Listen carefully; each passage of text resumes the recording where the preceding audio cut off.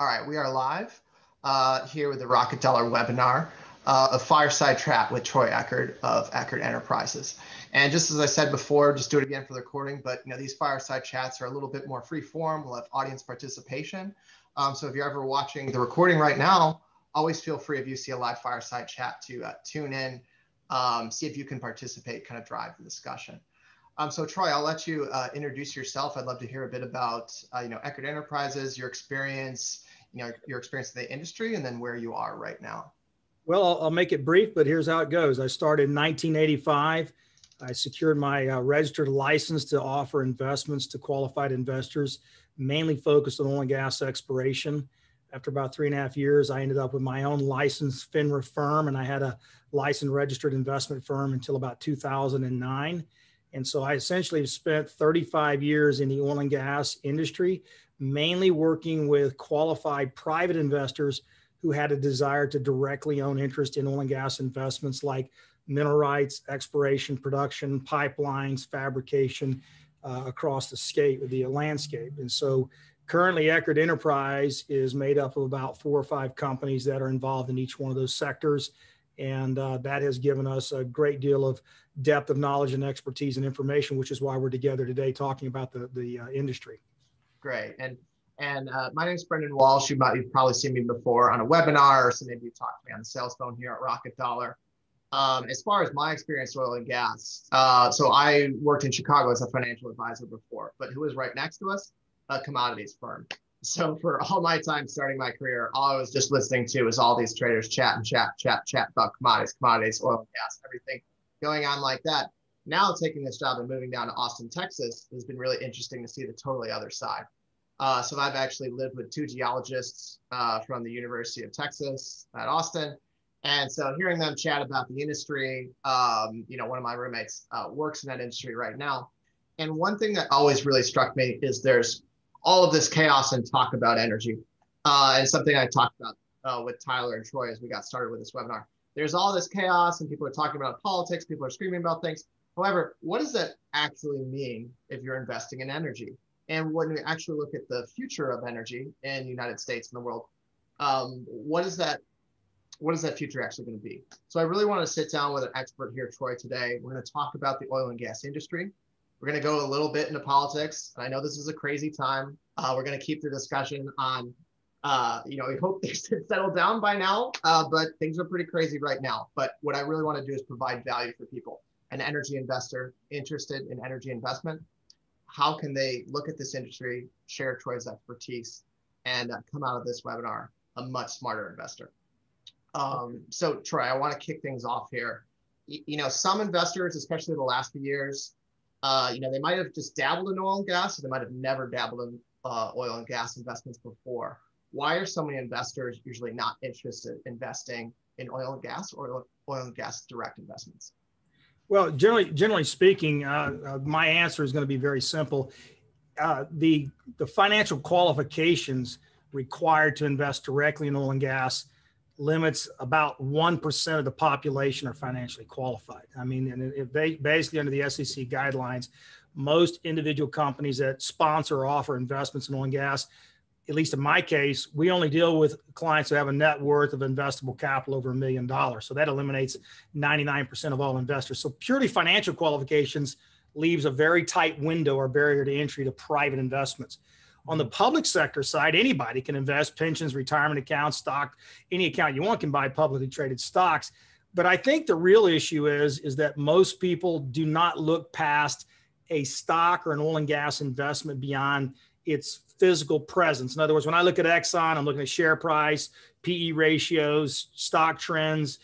I don't ever really look at how Exxon and what it does really passes through the economy when it comes to things like raw material, construction, labor costs, fuel costs, transportation, and what that may do to either increase the value of that public stock or decrease it. So I think most investors avoid oil and gas, kind of like most people avoided uh, all the dot coms and all the tech companies 20 years ago didn't understand it don't get it don't i still don't under bit, understand bitcoin so i stay away from it right yeah and that, that is the problem is that it's it's a combination of two things brendan it's lack of knowing what the heck happens in the industry and the other side is it is wrought on the private side with 95% of the people that are in the oil and gas business as a sponsor are illegitimate crooks, liars, cheats, and thieves. So you've got a double combination there, right?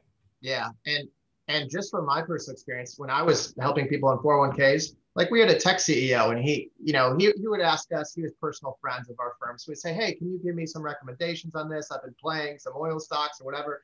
And we immediately just went, whoa, whoa, whoa. We're not experts. We know you, we know you. He's a tech CEO, very smart guy. He was not an expert on oil. And you know, he was all excited to tell us how he's playing you know, the crude ETFs and get, gonna make so much money. And uh, we told him to stop. And uh, six months later, you, you know, uh, something changed in the industry. Saudis had done something he didn't understand. Right. And he got absolutely killed. And he, you know, he's kind of like, hey, uh, you guys told me. And I'm like, look, we weren't experts, but we know you were playing with some fire you didn't understand. And that's yeah. where, you know, you have to go somewhere to look for expertise or, you know, if you don't know that in interiors of the industry, you really have to take a step back. okay, I'm going to either learn or talk to some experts. Um, okay, so just something people it kind of snuck up on people in America. Um, you know, people that are older, you know, we're typically have been an oil importer for many years. The oil industry in the US has absolutely exploded um, over the last 20, 30 years. And so looking at looking at this new explosion of you know this huge growth in American oil, you know, how do investors navigate that, and how did maybe some people, you know, miss that huge explosion coming up, Troy? Yeah, well, one, let's start with the social component. Most most investors, including a lot of retirement accounts and pension funds, have just made a, a mental decision. They're going to avoid hydrocarbons, period, because of their their uh, social effect, their their uh, environmental opinion. So you kind of have a, a, whole emotional effect on the industry itself. So, absent the emotional side and just more the fundamental side, I think it really boils down to um, you either want to be in the space or you don't. And mm-hmm. if you want to be in the space, you've got to learn what creates the foundation of the building blocks for that space. And so, to make sure we're very clear, the oil and gas industry was dead as a doornail in 2008. It was the lowest oil output for the United States since 1941. We literally had run out of oil and we're on a massive decline in 2008. As a result, oil prices skyrocketed to $145 a barrel. So, truly, the US oil and gas industry has really only seen green pastures for 13 years. Mm-hmm. It was a complete flip around. And it's all been driven by technology. So, all the fancy software, hardware, all the fancy tools, everything that is taking place, triangulation using satellites, all that has what's really solved the riddle for oil and gas exploration. So the key thing, the number one thing that I keep telling people the last decade, the number one thing that's changed the oil and gas industry is when you listen to somebody talk about the financials of Exxon or any of these companies, the one thing you don't hear that you heard back in 2008 is the percentage of dry holes. What mm-hmm. you're hearing is, is return on investment. It's a fabrication process. We're not drilling dry holes. We're simply figuring out how much it takes to pull the oil. We're talking about break even cost. Prior to 2008, it was, well, are you going to hit 60% of your wells or 50%? And what does the dry holes do to you? And blah, blah, blah. You're not hearing that anymore. And that changed the risk component of oil and gas, which allowed the industry to basically take a 200% increase in output over a 10 year period because it wasn't dry holes. It was how many wells can you drill? How much money you can spend? What kind of rate of return do you want? So it's changed dynamics. And, and and with these technology you know updates there was just a lot more uh, sorry a lot less small mistakes you know small and big mistakes. So people are getting more efficient they're drilling better um, their exploration has been improving. And uh, one thing just to term a lot of people know it everyone's heard it but not a lot of people actually know what it means. You know part of this new technology fracking is this word says screamed in politics it's in the oil industry what does fracking actually mean, and why was this such a revolutionary part of the technology for oil and gas? Well, let me let me give it to you in terms I think all of our listeners can understand. So if I have a uh, if I have a concrete slab on an old home that I want to jackhammer out in order to put in a new slab, I'm going to take this incredibly hard rock and I'm going to take a jackhammer and I'm going to create cracks and fractures so that way I can bust it up into smaller pieces. Well, in the earth, because it is compressed because of the weight of the earth on top of it, you have this really, really hard formation, which is just absolutely saturated with oil and gas molecules that are trapped. You need two things for oil and gas to produce. You need to have permeability, okay, which is pore, uh, you have to have pore spaces in the rock to hold the oil and gas molecules, and they have to connect. If the pore spaces don't connect, the oil and gas doesn't free flow. Shale has a lot of organic material, but the pore spaces don't connect. So the fracking is nothing more than a fancy word for a jackhammering, a cracking of the rock in the ground. And what they do to crack that rock, like sandblasting, they take and they inject sand, lots of water, a little bit of lubricants, and they inject it in the rock two miles below the ground in order to break it up to create unnatural or basically fabricated passageways for the oil and gas molecules to grow and expand and produce to the surface. So mm-hmm. fracking has been given kind of this name of like it's the devil's work, but effectively it's no different than cracking the rock in your driveway when you want to bust the driveway or the old slab out. Mm-hmm. The reason why it was such a, a changeover, Brendan, is that people associate fracking with more hydrocarbon, more environmental issues. And so fracking was kind of the mechanism that took us and catapulted us to the number one oil producer in the world uh, last year. It was people who hated oil and gas thought, oh my gosh, they figured out how to produce three times as much. How do we stop it? Let's let's give fracking a bad name. All it is is jackhammering with sandblast. It's real simple. Yeah, and, and so this is a technique of oil and gas, and it's also really propelled the U.S. to be you know energy independent compared to uh, an importer from other nations you know sometimes which leads to all this tumultuous geopolitics and all that stuff uh, so that, that's good i wanted to just explain what fracking is because we hear it so so so so much uh, right. uh, think hey this is a technique oil and gas uses and it's also a lot more efficient as far as getting oil out of the ground and right. so i uh, i kind of know but i just want you to say what what states has this been really big in and where is this you know really accelerated production well, if you think about it, the United States was created by two continental shelves slamming together, creating North America. Mm-hmm. When it did, it basically has created over millions of years the equivalent of about nine buried Grand Canyons throughout the United States. So you've got the uh, Wyoming Powder River Basin. It's a huge sinkhole like a Grand Canyon. You've got the Bakken up in the Williston Basin, big sinkhole, Anadarko Basin, the Permian Basin. So what these are are these the they're equivalent of large buried Grand Canyons that when they were backfilled layer by layer, you had all these dead plants and animals that were trapped. So when you think about the United States as kind of a, a playground in which oil companies can consider all of these known they were known geologically seismically they were all known to exist. They were it wasn't like you had to have an expert to know what's going to be 400 miles long and 200 miles wide. You could see it fairly easily. They knew it was saturated. They just didn't know how to get the oil and gas out of it. Mm-hmm. once they were able to combine the the engineering and operational decisions that could allow horizontal drilling and fracking with the geological and geophysical consumption we now clearly knew exactly where the oil and gas was. So the game of hide the Easter egg was done. Now it was all about capital. It's all about capital deployment. And that's really what's happened to the United States is my brother Brendan used to tell me back in the 1990s, says, I'm drilling over here in East Texas. Every time I drill a well, I get to this really hard shale formation. It burns up bits. It's hard as heck to drill through. takes us five extra days. I hate this zone. It's a pain in the neck, but it pops oil and gas.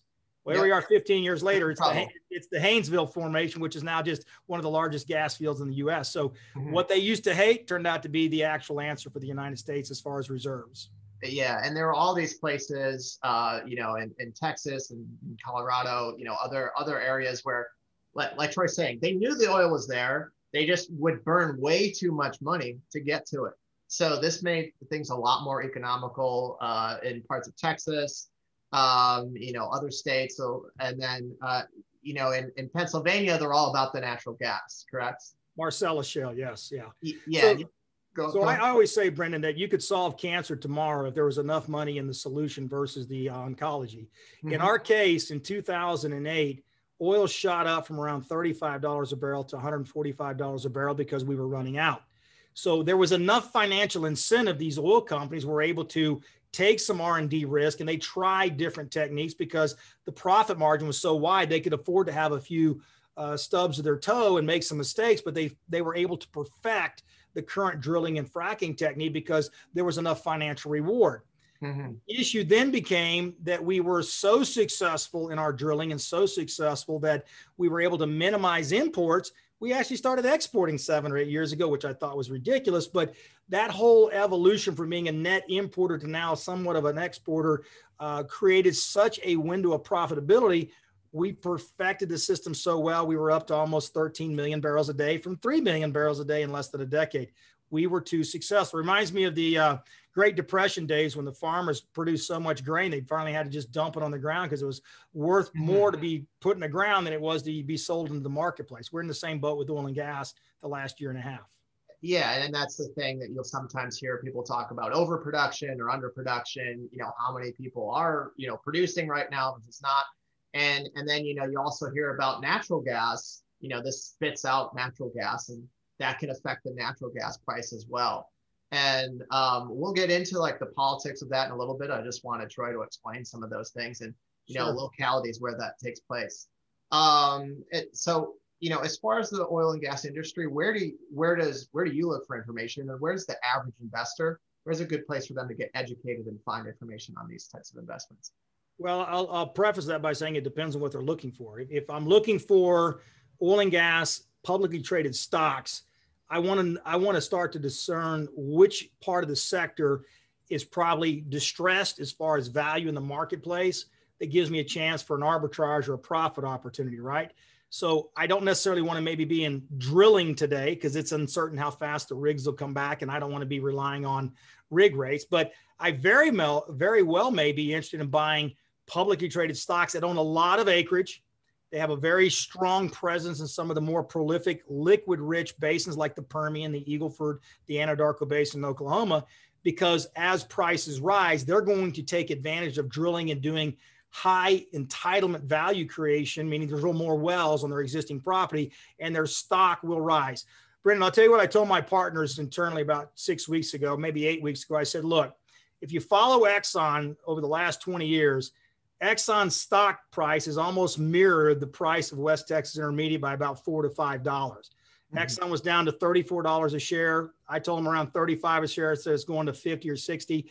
And sure enough, Exxon is just trailing WTI price by $4 a share. Why is that? Mm-hmm. Because the market sees Exxon as a huge storage tank of reserves that have been proven by the big major. And as oil prices go up, their reserves become worth more value. So if I'm an investor, I want to know who holds those reserves is it better to be in natural gas or oil? Is it better to be in with a smaller private equity company that maybe they're publicly traded because they were converted to a, a public entity? Or is it maybe an old horse like Marathon or Chevron or Exxon? And what do they really have to do? At this point in time, for me, my number one criteria for investing in any public stock is their depth of their capital resources because capital is going to be starved for oil and gas the next five years. Who has access to money? Because that's whose stock price is going to go the highest and the value is going to be created, right? Yeah, and I think I think something that uh, I've talked about with my geologist roommates, you know, just put from the finance angle, uh, bringing the finance angle into the oil and gas is that um, often, uh, you know, oil and gas is is a much more realistic market than we see all these overheated markets all the time. Uh, if if you got to shut down an oil rig, you got to pay people to shut it down. You got to cap it up. You got to take time and money. You got to fire all your employees. You got, uh, you know, that does not spring up in a day. Uh, so, you know, uh, companies, people with capital, people who are nimble, um, to be able to spin up, spin down, they might be better winners um, in this situation than people who are stuck with rigs that, you know, they're stuck with assets that they have to shut down, lose out on, um, maybe lose money on. And so that's that, that access to capital, the nimbleness, being able to turn things on and off because oil still has to get places. A tech stock doesn't really have to do anything. A tech stock can go up tomorrow um, and no one really cares. The oil has to get to Houston. It has to get places. It has to get on trains. Things have to get, valves have to get shut on and off. Um, so looking at that market, if it's a much more efficient market at WTI and like Troy's talking about the publicly traded stocks, you might have to look elsewhere for value. You might have to look at people that uh, you know are not trading just at the WTI price if you want more pop from that investment. Um, and so, you know, what kind of investors do you typically work with at Eckard? Um, you know, what are what are some of the challenges you know taken from checks from a big investor, you know, in this capital start environment versus like smaller checks? Well, the, the way I view it is we just had a team meeting this morning and we were just talking about where the market's at today. And and I'll be candid, I've been doing this for 35 years. And when I first started in the business in the late 80s and 90s, uh, when I would talk to an individual investor and we talk about a, drilling a well, putting it online, they wanted investments that would last 10, 15, 20 years. It was about, you know, I'm not looking for something I can buy and flip. That all changed with the dot com in the late 90s and early 2000s. And now it was, um, I want to buy a stock, let it rise, take my profit, move out, buy. I, they're looking for the fastest horse in the gate coming out, right? Mm. Um, now, when I talk to most million dollar plus net worth investors, I hear two things which I think are completely incorrect. And that's why we see so many booms and busts and why so many people lose their net worth. Is the first thing they say is, Oh, I can make 10% of the stock market standing on my head. I can do hard money loans for 15%. I can do this, I can do that. And I'm like, Yeah, well, how'd you do five years ago? How'd you do in 14, 15? How'd you do in 08? They, they are like people on an airplane from Vegas. Nobody's a loser on the airplane. They never raise their hand and said, hey, I lost my entire paycheck. But yeah. you ask everybody who won, and one guy says, I won. So here's the second part of that. Um, they are so enamored with these incredibly unique financial conditions that have allowed the stock market to rise and for some of these real estate investments and these hard money loans to do really well that you should take that advantage and definitely build your net worth but the second thing i hear is, is that they, because they have no patience um, any oil and gas investment is an entitlement investment if you buy into a pipeline They've got to come up with the pipeline, get the customers, build the pipeline, create the revenue stream, which could be three to four years. Investors don't want to hear about that. Mm-hmm. They want to invest on a Monday morning, pull up their stock account on Robinhood that afternoon, and sell it and make three or four or five percent a day and do it again and again. I have seen a magnificent switch over from 15 years ago to today. There's not long term thinking in the market anymore that I can find. It's very, very rare. And so that means that most investors will not like the attributes of oil and gas because it requires a more sophisticated, it requires a deeper pocketed, maybe more patient money. And that's probably less than 5% of the marketplace. So it's not that oil and gas doesn't offer opportunity. It's like standing out here my highway, I'm the highway out my window. It just sounds like a race car driving going by, right? Yeah. You can't hear the car because there's so much noise. They don't want to hear the details of oil and gas because they're too busy with stocks and bonds. And that's okay until it corrects. And when it corrects, they're standing there saying, why didn't I do something else? And that's the hard part is you got to get their attention really. Yeah. And so, you know, as a consequence of that, I've seen uh, a couple things. I've seen investors try and carry WTI without really knowledge of all the geopolitics and all the American industry and lose money on that from bad timing. I've also seen people that, you know, they're they're just looking for that dopamine game, like you talk about, the Robinhood style. So they will pick some small company in West Texas they have no idea what's going on. They don't know who manages it. They don't know. All they see is boom. You know, this thing has been moving. I'm getting in. And, uh, you know, something goes wrong with that operation. You know, maybe they only have a few wells, all of a sudden destructed. And, you know, so there's that kind of that like penny stock nature of it. Um, whereas, you know, if you take a step back, think more patiently about this, work with experts, there are opportunities. There are plenty of people making money. However, there are expeditions that are blowing up in their face, and you just have to make sure that you're stepping back with the right investment philosophy, the right patience, um, and also approaching these opportunities in the right way. They're not they're not a trading them like penny stocks isn't necessarily going to work out for you. Well, the way the way I look at it, Brendan, is that the investors have to have to understand probably a couple of simple elements of the energy space for mm-hmm. either private investment or public stocks. One, every single day, every single American in this country uses some part of a barrel of oil that is being consumed and never replaced, whether it's your home, your grass, your fuel, your electricity. And it doesn't matter how much more wind and solar is added, because here's what I see happening. If this were the total component of the oil and gas available or, energy that's being used today, as we had more homes and as we had greater population, I see the wind and solar simply absorbing the future growth of energy consumption, but it's not going to reduce the current consumption based on oil and gas. So for me, I like being in a space where every day there's a finite quantity that's being reduced in supply, but demand is continuing to go up. And so for me, it's it's how do I position myself in that market to know that what I own, everybody has to have. Everybody will use every single day. So the key is, well, where are we at in that timeline? Are we on the downturn, the upturn? Where do I position? Is it exploration? Is it pipelines? Is it minerals? Which one is the area that fits my portfolio? And that's the real thing is finding somebody who will give you an honest answer that that offers the expertise, the transparency to give you that kind of guidance. That's the tough part. Yeah. And, and we'll get into we're going to get into a little bit of the politics and the regulation stuff in the next few questions here um, you know, and, and what Troy is talking about, you, you know, people people could say things about green energy and great advancements and stuff like that. However, there's just certain realities. That's kind of what we, a few things we want to get in here today. Uh, is your plane still going to be flying? It's you know still going to be using some oil and gas. Uh, are we going to have electric cars? How how much we are? We're going to have electric cars. They're coming. However, how much uh, you know they're going to be using geologists too, too because they're taking so many rare earth minerals um, out, out of different countries trying to find those rare earth minerals there's going to be just the same scope of exploration to find all these rare earth minerals and get them in electric cars it's going to be a long time before we get just as efficient to pull those out of the ground create whole industries you know tesla and all this stuff uh, we're just seeing that stuff finally grow uh, and you know as that continues to become more efficient over many years um, so I wanted to get into some political real- realities really quickly. Uh, you know, people say, "Hey, I hear a Green New Deal coming. I'm scared." AOC said this. I'm freaking out. Uh, my oil investments are going to do whatever. Um, we'll talk about that in a second. I just want to bring up some political realities. Sometimes people don't always think about.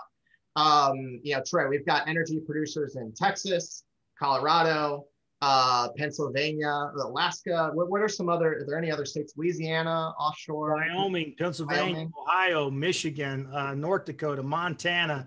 Uh, it's now in Florida, Mississippi, Alabama, Louisiana. I mean, we've got a solid 20 states, uh, maybe 25 states that have oil and gas presence, including California. Okay. Yeah, at California as well. And and one thing I'll just bring up a few comments I've seen.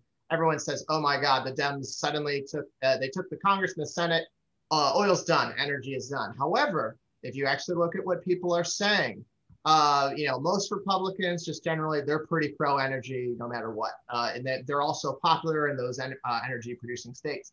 But you have Democrats in these states energy producing that maybe they get a bit purple, and some Democrats come up. If you look at the statements of those Democrats, I just googled some earlier today before this webinar. You'll see Democrats from Pennsylvania. You'll see, uh, you know, Democrats from Colorado uh, as soon as this conversation comes up, let's heavily um, regulate energy. Um, you know, Hickenlooper, Michael Bennet, um, Conor Lamb, uh, Pennsylvania Governor Tom Wolf, um, you know, Bob Casey. These names come up, and you'll see them. Hey, hey, guys, let's slow down. Let's make sure we have a moderate approach. Let's make sure we listen to the geologists. Let's make sure we have a conversation with them. And so, uh, what I've seen is a lot of people suddenly they see a Dem very slim majority. And just know you need those people's votes before you pass any any regulation. Uh, so Troy, what are you seeing on that? And uh, you know, just some of those realities as we do approach kind of a new blue administration, a Biden administration, but with these congressmen from these 20 states kind of pulling back and say, all right, we need to make sure we're part of these energy bills. If I'm an investor and I own producing oil and gas interest today, uh, I'm going to make a lot of money the next four years with a Biden administration because every single regulatory act, every single constraint they put from pipelines, water usage, uh, fracking, drilling, federal lands, offshore, every single pressure they put on banks to set higher amounts aside as recoil capital for lending to energy industry is going to cause the price of oil to skyrocket. So I said this six months ago. I said, you know, I've been a conservative voter my whole life. I would never vote for the Democratic Party for multiple social reasons. But when it comes to energy, I used to joke with my clients last year. I said, I may vote for Biden myself because having Biden in office almost guarantees me 100 to 150 dollar oil. Now, let me tell you why I say that. If you look at history in the last 20 years, when the Obama administration took over the White House, the dollar sank down in the 70s Oil prices went to historic highs at 145, and the U.S. production output sunk to the lowest level since 1941. The Biden administration is basically picking up the same people that Obama had, the same mentality, but even more aggressive because they got to make the radical green deal people happy. And now they're talking about like just across the board, anything to do with federal lands and water and regulations. Okay, that's fine. But here's what happens we as a country consume 21 million barrels a day. All right. We only made 13 million barrels a day. We were still importing 8 million barrels a day from countries who don't like us. We were a long way from energy independent. Today, we're at 11 million barrels a day, and we'll be below 10 million barrels a day by next year because we're not drilling any wells. But now the Bank of Montreal, now the New York Teachers Pension Fund, now several major, major capitals where it says we're not going to invest anything in oil and gas. Well, if you don't have rigs and you don't have money and you keep consuming, COVID's coming out of it, which means we're going to consume more than we did even six months ago, and our production output's dropping. There's only one conclusion escalating super high prices for oil and gas. Now, I don't think that's going to happen this year. I think it's going to happen in late 2022, 23. The fundamentals are the same, politics aside, but you have to have politics because it has to do with policy. The policy of the new administration is 100% wind, solar, and anything but hydrocarbon. I'm okay with that. I'm going to get rich over the next four years. So I'm pretty happy. I may yeah. pay higher taxes, but anybody that understands the space realizes more regulation means less drilling, means higher prices. It's not what we want, but that's what we're going to get. Yeah, and whether this pressure comes from regulation or capital, you know, we're seeing like uh, I've seen many financial funds are saying, "Hey, we're not investing in oil and gas. We're pulling our funds." And you know, the big bank does that. That can be a big hit to capital. So if it's politicians, if it's capital, all of this slowly starts to constrain supply. And what we talked about, oil and gas is a much more tethered to reality type of asset. Absolutely. As, as soon as supply starts to feel some constraints, you immediately start to see push. And uh, you know, we're looking at a time right now, historic. Everyone's sitting at home. Less people are driving and flying around. You know, in, in many recent years in history. However, you know, once vaccines come out, people are going to start flying planes again. People are going to start getting back in their cars. Um, you know, oil use is still around here in so many different ways today. So we see a, just a few pressures pop up. Uh, you know, even if a Green New Deal doesn't happen, we see corporate activism and investment and you know a further shift away from hydrocarbons, that pressure will slowly start pushing things up.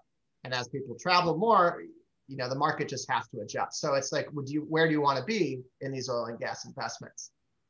Well I, I think to add to what you're saying i think the one critical thing to keep in mind is that uh, the timeline from shutting an industry down like we saw last year because of the oversupply by saudi arabia and russia dismantling those rigs sending professional experts drillers engineers geologists say go home we have no job for you. Mm-hmm. crippling the financial balance sheets of the major exploration companies. And then you further that by looking at the amount of lost capital that no longer wants to invest in oil and gas. You got a perfect storm for a real dilemma. And, and the dilemma is as follows is that when these oil companies see rising prices like we've seen the last two months, that's not really to have them encouraged to go out and double the number of drilling rigs and double or quadruple the number of exploration activity. That's simply saying we now have a balance sheet that we can kind of mend their balance sheets have been shot with bullet holes through it, and they've been bleeding in every direction. So what you'll see is the next 24 months of rebalancing the ship, putting things back in perspective. You're not going to see real exploration in this country for 36 months. That's mm-hmm. 36 long months of production declines and lack of drilling. And you're setting us, we're setting ourselves up for a major traders market. They're going to say oil is at 55 or 65 we're going to be short. We're going to be below 10 million barrels a day. What's it going to take? See, here's the thing like solving cancer, what price per barrel does it take for private equity, stock markets to go, it's just so good, we've got to go back into the market? I think it's north of $85 a barrel. Mm-hmm. I think it has to be. Yeah. And so, so that's that's kind of a given for me in my mind. It's easy. It's easy to give up energy in the financial world when it's not doing so hot. It's very easy to throw out a statement saying, "Hey, we're not investing in energy." Uh, but if, if things start popping again, uh, you know, some funds will keep their stand. However, the money talks very quickly in the industry and people will start popping in. And something that Troy's mentioning is let's say oil demand does shoot up. It's not like these wells can just turn on tomorrow. And the entire industry that was rocking and rolling in 2018, 2019 is just back to normal. It's going to take time. You got to uncap wells. You got to restart, uh, you know, but you got to re- restart extracting all this oil out of the ground. And something um, that Troy brings up, I thought is very important exploration. We haven't seen much of it right now. They're not drilling new wells. So who who's going to be a winner when someone's screaming, turn on more wells right now? It's the people that have the capital, have the capabilities, and are able to deploy it. The the old companies that have been shot to hell or bankrupted are gone can't suddenly just appear in West Texas again. They need to rebuild their entire infrastructure. And so there's, that, there's one other element, Brendan, that I think that most people are completely unaware of. I'm 56 years old. When I go to meetings, I'm still the youngest guy in the room. Mm-hmm. The next layer down of intellectual assets are in their early 30s or 20s. So I've got a son who's 26, who's a petroleum engineer. He was number two completion engineer at a publicly traded company at 26 years old. So the gap in the intellectual assets, the geologists, the engineers, the guys who know from experience what's going on is about 25 years. This last downturn, this 2020 downturn, took many 60, 65, 70 year olds who have been drilling for years and said, I'm done, I'm retired. The mm-hmm. oil companies are now looking around saying, if we have to gear up, who do we call? They're either yeah. retired or they're dead. So your intellectual shortage is going to be astronomically a negative pull on being able to ramp up when it's time. Nobody's even factoring that into the equation at all. And I can tell you that, again, I'm an old fart at 56 and I'm looking at an empty table because there's nobody younger than me at that table. So yeah, it's, it's you, huge. You can see this visually again, oil efficient market. Uh, my friends, my geologists, University of Texas, Austin, their graduating class fluctuates depending on the oil demand. The size of the uh, geologist classes at University of Texas at Austin balloon extremely during oil booms. They have been quite small lately. Uh, it's been it's been tough to find a job, you know, in this oversupply for geologists and you know these extra this extra knowledge. Um, and, and you know they, they might be winners in a few years, but for right now things are pretty tough for them. So you know not many people are going into oil. Uh, the the department is a bit contracted. They're not going anywhere, you know, because there's there's donors and there's people saying, hey, we need uh, geology education. But this is happening at geology schools across the country. And it also, you know, a, a person is a person. They move their family. They're in Houston. They're working in oil and gas. Um, if they move out of Houston or they retire, they can't suddenly just bring them back again, just like wells can't be uh, capped back up. Um, okay we, we've talked about a bunch today, Troy. We're at what 40 minutes right now. I would just say we have talked a bit about the next year or two. How do you feel the near future and kind of the more extended future will be uh, for oil and gas in America? So, so two sides of that answer would be one, how do I see it from commodity side? Mm-hmm. I think that uh, we're probably back to about 96, 97 million barrels of consumption, uh, which is about five to seven million barrels short of where we were pre-COVID shutdown in March. So uh, I said this six months ago. I said, I'm not worried about oil prices. I said, I'm not worried about demand. I'm more worried about supply. In the economic 101 scenario, it's always to me going to be the demand side, not the, uh, the supply side, not the demand side. So I think demand is coming back. It simply has shifted what type of demand. It's gone from being on airplanes to RVs and boats and, and all the stuff. People are staying at home and they're buying gardening tools. And so construction is crazy across the country. So it's new homes and manufacturing. So we're still consuming the same and we will be the same. So from the next year to two years, I think we'll easily be back to 100% pre COVID demand within 12 months. That's my opinion. I think the second part of that is, is that now we have to look at the, um, the outlier, which is the effect of the new administration, what that does to possibly transportation, processing, expiration, and, and essentially the amount of opportunities because of federal lands maybe being completely shut in. So when I think about the demand side, totally comfortable we're going to be back back to where we were in 12 months.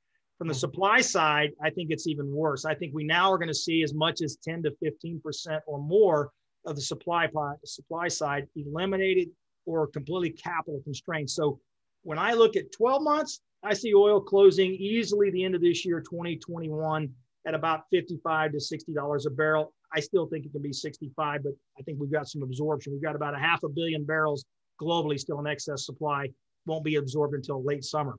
But when I look at the next 24 months, let's say 2022, 23, I think we're going to see a real spread between demand and supply, at least domestically. And I think that's going to set us up for a real spike in oil and gas. And I don't think it's going to be sustainable for four or five years. I think we'll see this huge spike. It'll level off and we'll probably still be between 65 and $85 a barrel. Mm-hmm. All that said, there's some real opportunities for investors out there. They can buy directly into mineral rights. They can buy directly into equities that are doing really well. Uh, there's some really, really strong stocks out there. I said four months ago you should buy. But to be specific to your question, 12 months, continue rise and solidification within the industry. A lot of players are going to go away. Big oil companies going to cut off non-core assets and try to dump them. I have a client who's a bankruptcy attorney, Brendan. He said all these bankruptcies he's managing, they're getting no bids on producing property, zero to no bids, meaning we've got these assets, nobody wants it. What's that doing? That means it's further pushing pressure down a little bit. But that's going to change as prices rise. And so then you'll start seeing new capital participants. So we're probably in limbo for six to 12 months. But by the end of this year, you're going to see everybody kind of recapitalize and start to tear off. 2022 should be a rocket year for oil and gas as far as new capital coming in. Five years, I think we're still going to level off at 70, 80 dollars a barrel, and I think natural gas is going to be 275 to 350 because that's what it's going to take to get capital to re-enter the market. Anything less than that, capital is going to go do something else, buy more Tesla stock or you know wherever they go. Yeah, I'm more excited. And uh, all right, so we'll, we'll close things up here. I appreciate you know let us know a little bit about Eckard itself. Just describe a little bit more of the firm as we close things up. And one last question before that: Where is the most federal land in the United States in relation to oil and gas drilling? Good gosh, I don't know because uh, it depends on where the federal land is and where it actually has oil and gas. You might have a ton of federal land in Montana, but maybe mm-hmm. New Mexico, percentage wise, is, is five to one more prolific for oil and gas. So it's not just federal land, it's also federal land relative to potential. So you've got the big states, which are the obvious states, which is Montana, Wyoming, Colorado, uh, New Mexico, right along that Rocky Mountains is loaded with shale and, and tons of uh, federal lands. And that's exactly where the people that live in the states, like Colorado, I mean, it's anti oil and gas within the state. They passed legislation that's really made it tough for oil and gas companies to develop their assets. So we personally avoid Colorado, even though it's a great state for oil and gas. We avoid it because you're dealing in a very, very negative environment relative to future value. We tend have a tendency to choose not on federal lands, we choose based on the states and that state's uh, kind of um, I guess there's positive support toward hydrocarbons, which might be more like uh, Texas, obviously, and, and, and uh, Oklahoma. Those states, we don't think will be changing any of their pro- programs based on what the federal government tells us to do. We're going to keep moving on private land. So I think that's the key issue. Okay. And, and what are some goals for Eckard Enterprises here, you know, in the in the very short long term? And then we'll close things up. We've had a great conversation. No, no problem. I'll make it short. Basically, last year was a record year for us in capital deployment for buying minerals. We actually uh, doubled our client base in less than 12 months. We think we'll double what we did last year. But for us, we're focused on being top of the food chain, Brendan. We believe that if you're a mineral owner, you're not worried about drilling risk and finance and debt. You always get paid and you take no risk personally for us, we think that the stock market will have a pullback and all that money, that profit is going to look for a place to create yield. I think we're in a negative yield environment the next three to four years. So if you can generate 8, 10, 12% off of no risk minerals, that's where a lot of money is going to filter in. We've had more investment capital coming in from retirement accounts, institutional investors who are seeking to find a safe harbor for their money and they want to do it in something that requires no capital and, and zero liability. So it's been minerals. We're going to participate in some drilling just because we, we like the tax advantages if the Biden administration doesn't get rid of those advantages. Mm-hmm. And I think that we're going to just keep a very small pace. Our personal goal is a $250 million portfolio in minerals at the end of 2023. We're right on track to do that. And our partners and our company believe will contain some really, really valuable assets. But overall, what I'd like to leave our viewers with is the fact that whether you're kind of a direct owner or whether you just want to play private equity, I'd be looking at some really solid stocks that are the most active. I have a, a saying in my company, Brendan. I said, just follow the rigs, mm-hmm. up a chart, go online, where are all the U.S. drilling rigs? You'll find out who's drilling and where they're drilling. And let me tell you why. Those rigs are drilling the best mineral leases in the best location in the continental United States at these prices with the strongest companies. You want to know who's the leader in the industry, where they're drilling, what states and why? Just follow the rigs. It doesn't take a rocket science to make sure that kind of information is deciphered yeah, su- such a different market than tech investing. And that's why I really love this conversation today. So yeah. thank you, Troy. I really appreciate you stopping by. Uh, I'd love, we're going to throw this up on YouTube channel. So if you see anyone else uh, that you want to share this with, feel free to share it from the Rocket Dollar YouTube. Uh, thank you everyone for, for stopping in today. Uh, thank you, Troy. Thank you. Take care, Brent. Take care of yourself. Appreciate it. Awesome. Thank you, everyone.